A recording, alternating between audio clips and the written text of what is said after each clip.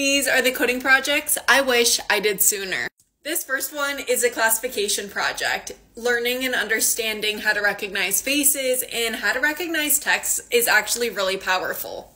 One of the biggest mistakes I did along the way was not leverage other schools' courses or the materials that they have online. These aren't necessarily like super creative projects, but I think the gist here is just to be able to learn when you're beginning and get a grasp for different concepts and different models. This next one is color detection in real time. I think this one's just really interesting and when I did it I feel like super accomplished at the end because it's literally like you're making the color picker that is on our computers. And the last one is a multi-agent Pac-Man game. The thing about learning from a course from university, though, is that you understand the how and the why you're implementing different models.